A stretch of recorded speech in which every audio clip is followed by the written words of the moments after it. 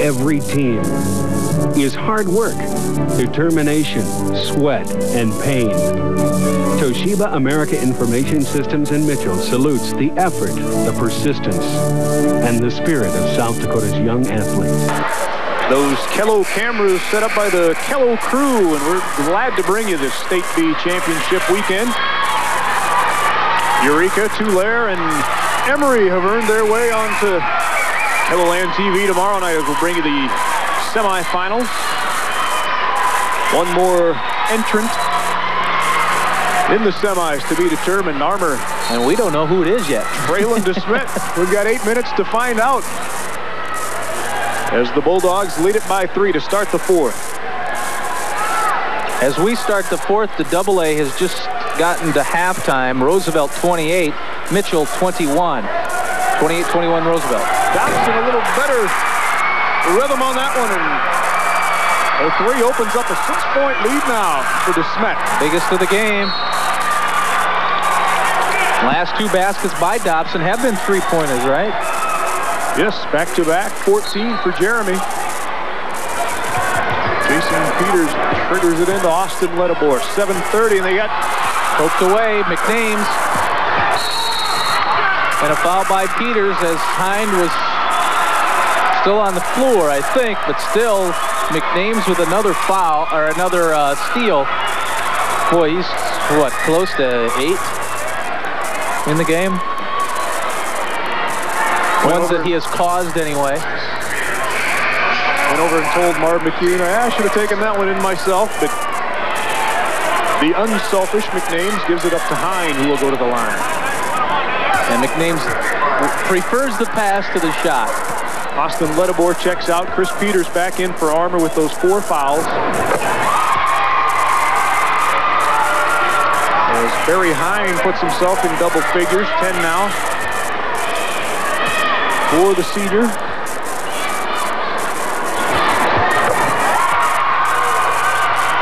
And all of a sudden, DeSmet has run out to an eight-point lead, 50-42. 16 turnovers through three quarters for Armour. Knocked away by Hine.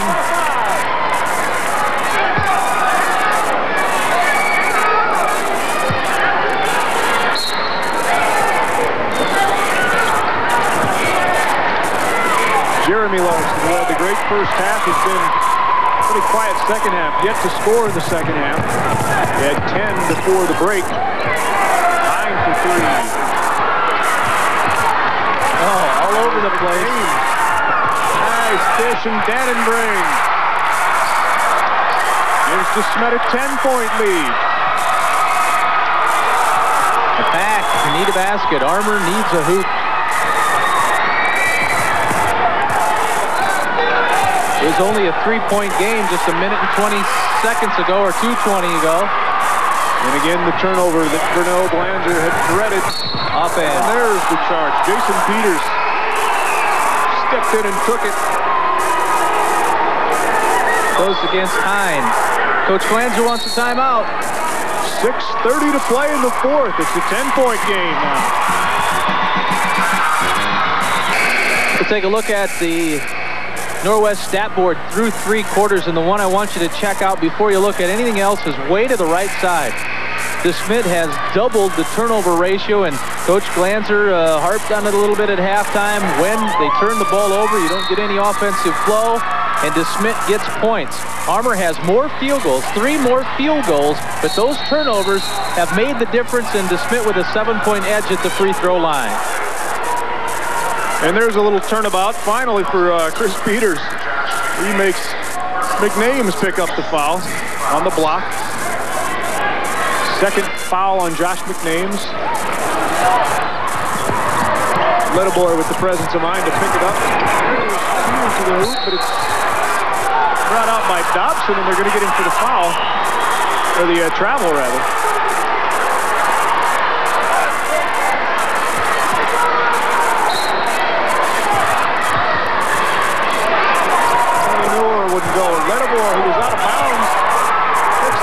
Is good by Dobson, and the Bulldogs come away with it. They want to push, as always, Hine with the pull-up. And Hine with a bucket. 12-point DeSmet lead. They have made the run here in the fourth. 54-42. There's the time remaining fourth quarter. What's unusual about Barry Hine is, is that he generally hits more three-pointers than two. He's only got the one three-pointer, but 13 in the game. We talked a little bit about it before. The uh, character on the team is Barry Hine. Tell us about this commercials that Barry Hine makes. But uh, you know those uh, the ones the shoe commercials that Dennis Hopper does, making a big deal about uh, wow I'm holding somebody's shoe. Well, he does that with Josh McNames because McNames was had uh, most of the press and he's the top player on the on the team. He'll go, you know, I'm holding McNames' shoe. or, uh, it's a pathetic attempt at being uh, Dennis Hopper, but I hope you you get the the gist of of the character of Barry Hine. That was a pathetic attempt, wasn't it, I thought it was pretty close, actually. Oh, Jeremy really? Larson, first two of the second half, gets it back within 10 now for the Packers. They're down 54-44, 5.40 to play. Fourth quarter, Dannenbring baseline. McNames. 15 now for Josh McNames. So I can quit this gig and start doing commercials? Is that what you're saying? That's, uh, yeah, that's what. Oh, okay. the truck says I better keep my day job.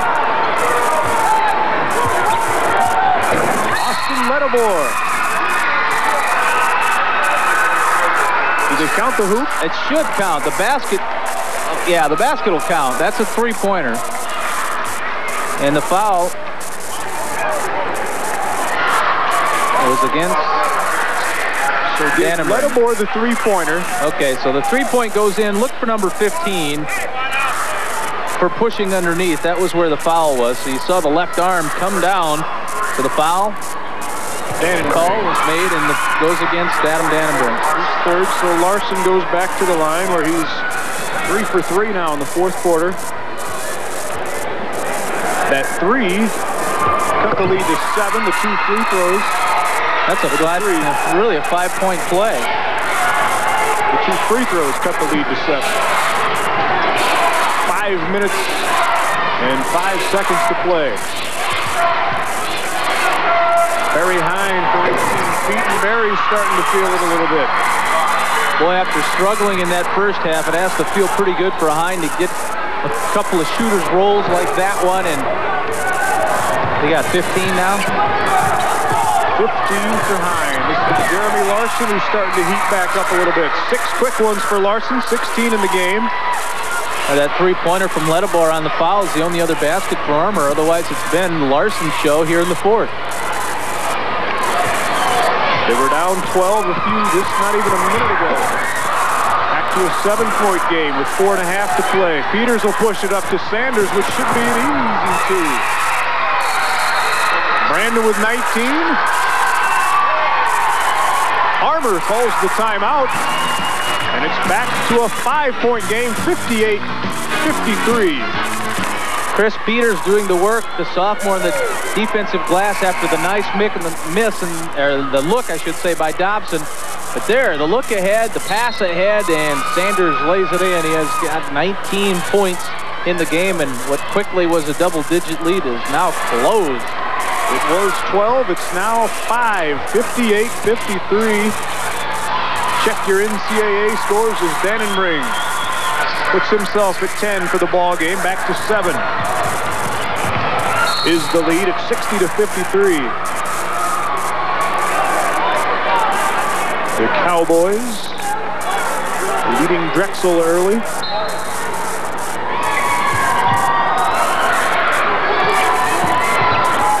speeders again, and they're going to get the block. And Larson, Darren, Darren Larson.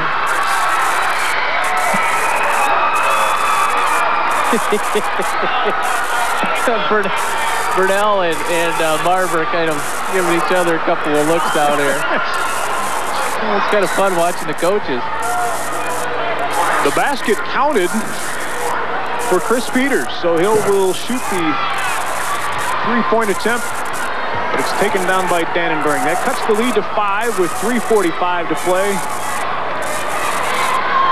And the calls have been consistent. Yeah, no doubt about that.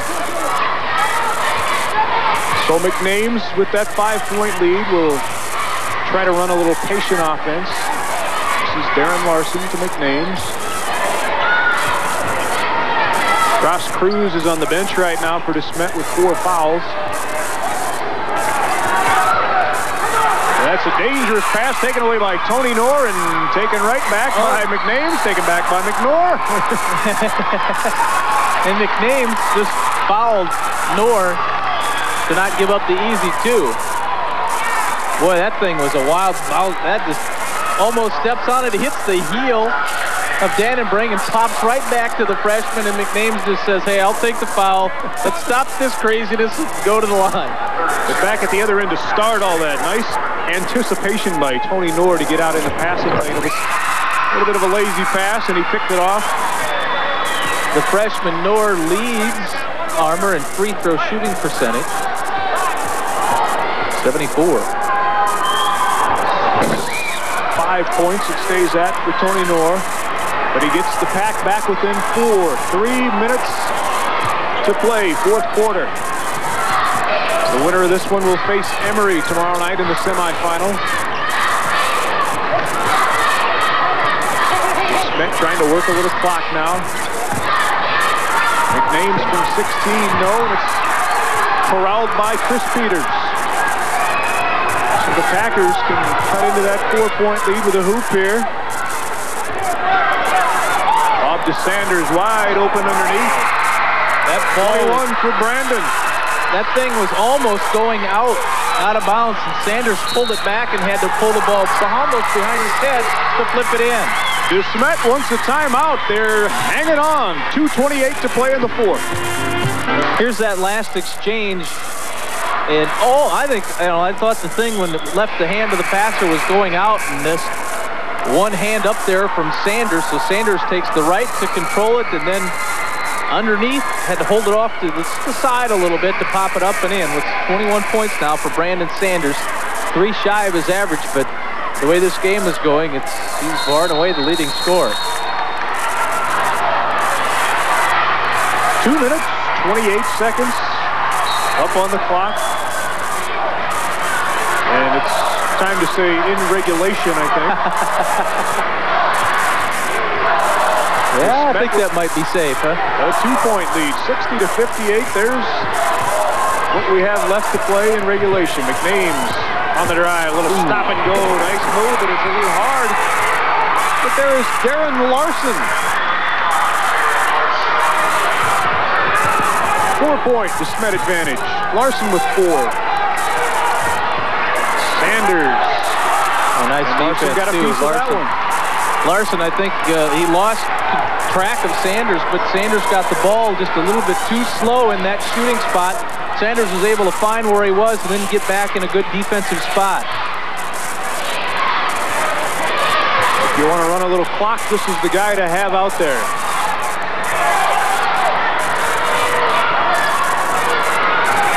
One thirty to play. DeSmet by four. McNames makes it six. No one stopped him. No one came up to help. Six-point lead for DeSmet.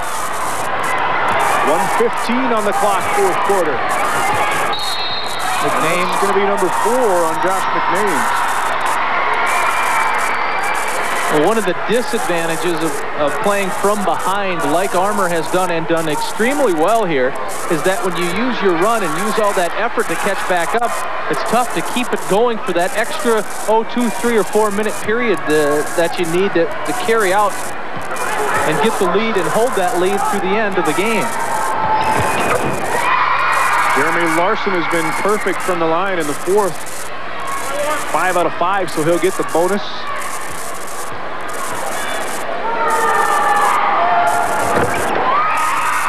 cuts the lead back down to four at 64-60. And the Packer defense causes a turnover. Timeout. Bulldogs one a time to talk over the last 72 seconds. Well, what a really, I don't, nice isn't the right word, but it just, uh, a nice enjoyable comeback, game yeah. to, to watch here. Uh, By Just as the uh, DeSmet defense has led to a lot of their offense, the Packers have stayed close and made runs at that DeSmet lead with their defense. You can see how much on that replay that Coach Glanzer is into this game as he is every game. And that's a look at the the DeSmet huddle and the Bulldog cheerleaders. Roosevelt was leading Mitchell at the half. That game should uh, be going again now. But Roosevelt was up by seven. And we're, we're getting an update. Oh, nice run by the Colonels. The Colonels have come back to close it to just two. It's 33 to 31.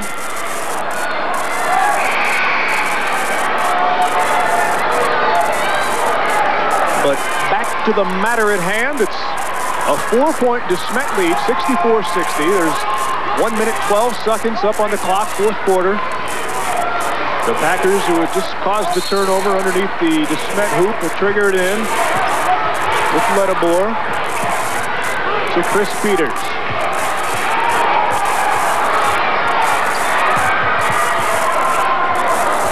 McName's playing with those four fouls for DeSmet. And Peters up on the rim and gets the roll. Cuts it to a two-point lead. That's the time remaining in the ball game. It's 64-62. DeSmet hanging on. Dannon, or uh, Dobson, rather. Ooh, almost and by McName's Larson. are going to have to get it across the line here. Endu, and there is McName's at his best. He finds Barry Hines. Sweet pass to Hines. Set it up. Four-point lead for DeSmet. Larson on the drive, gets his own rebound. It'll be over the back. Cruz will be over the back. It'll be the fifth on Cruz.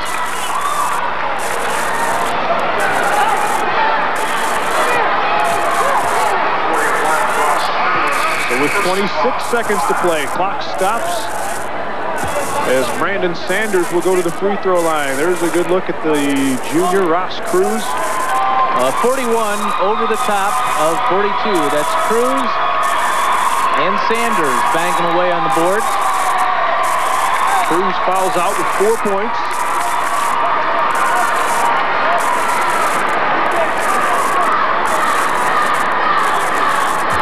And Adam Dannenbring will go to the table to check back in. Brandon Sanders waiting at the free throw line to shoot the one and one. Armor down by four, 26 seconds left. Sanders with 21 to this point, and that was a big miss. Brought down by Darren Larson. And they'll put it in McName's hands and let him do it. And the foul is on Sanders. That's good play. If you don't make the free throw, you have to stop the clock. That's the play you need to make. Look at the 5'9 senior, Squirt, is the nickname.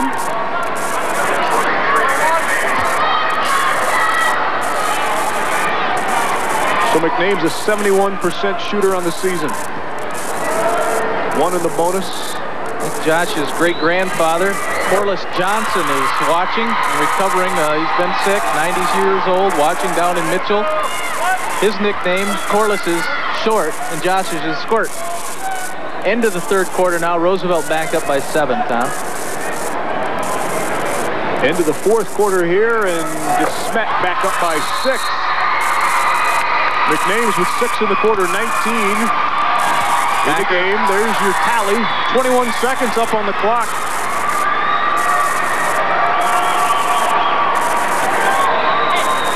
Marv McCune just wants to make sure that the timeout situation after the game, we will rejoin Pat O'Brien and the CBS crew on the road to the Final Four. Get you caught up on what has happened today around the nation in the NCAA tournament. That will be followed by KELOLAND News at 10 with Steve Hemingson and Angela Kenneke. And then you MASH fans will get your fix. After that, all coming up after the game. The Bulldog fans thinking maybe they've got this one where they won it 68 to 62. DeSmet leading, 21 seconds left. take care of the basketball is what Marv McCune is yeah, telling the telling, kids. I, I, think he would uh, be best to say just all all the for you. Give it to Josh. That'd be the easiest way to wrap that up, huh?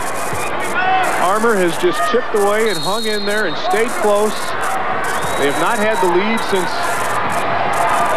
late in there, early in the second quarter. Sanders for three, not going to go. Get his own rebound. Two good looks, but didn't go. And Chris Peters three.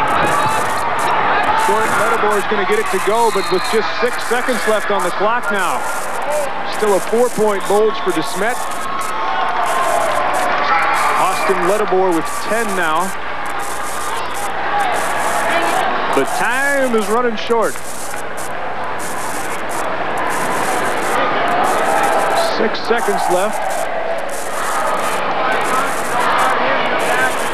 You need two possessions. That's the hard part. That's the hardest part for Coach Glanzer right now is the six seconds, you need two possessions. Four points with that three-point play is the magic number now. Or we've seen it sparingly over this over the course of the season. The four-point play, the three-point shot where you get fouled. But don't count on uh, Marvin McHugh not mentioning that in the in the huddle right now. Don't no. foul anybody on a three. After, uh, well, we saw two last week, two four-point plays. Marco and I did out at the State A. Doug Brown from Red Cloud, I can recall one of them. I think Jesse LeBeau had the other one.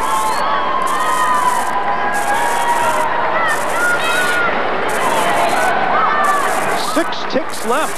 DeSmet up by four. And for the instant foul as soon as it's inbounded. Dobson has the opportunity to, to move if he wants it. Barry Hine will go back to the free throw line. Fouls on Chris Peters. That's the game. Hine has, has played well and scored well, especially in the second half. Barry couldn't have felt too good about the uh, five points he had at halftime, but really Josh McNames on the defensive side, I think, is what helped turn it around. He had a bunch of steals in this game, and McNames kind of picked up his scoring in the second half, too. Barry Hine with 17 thus far. He's a 73% free throw shooter, best on the team. 18 now for Barry. Five-point lead, four seconds left. And DeSmet is going to go on and play the Emory Eagles tomorrow night.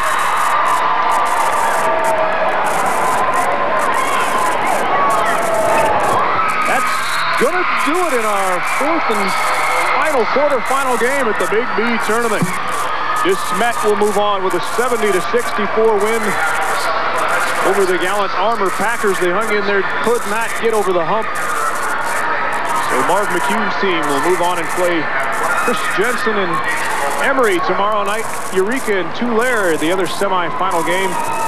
And Lee Timmerman has the player of the game Squirt is standing by. Lee, what do you have to say? Well, Josh, uh, Josh McNames, I thought defensively and, and, a lot of the steals you helped create really got the momentum going on your side. When you got Armour into a few turnovers, you guys started to flow, didn't you? Well, our, our defense really had to crank it up tonight. We, our shots weren't going out early, so yeah, we got a few tip balls in the first half that kind of kept us in the game since our shooting percentage is so bad. But uh, overall, I guess it turned out pretty well. and you, you go into tomorrow night that's uh, Last year you had a championship from the B, but it had a consolation in front of it. So this means a lot to you, doesn't it? Yeah, this will be our second game against Emory, and uh, it'll be a tough game. Chris Jansen's a heck of a ball player. Uh, let's come out, hopefully can contain him a little bit, get some easy breaks, and then see what happens, I guess. All right, congratulations, Josh. Thanks a lot. Josh McNames, his team. It's Wade.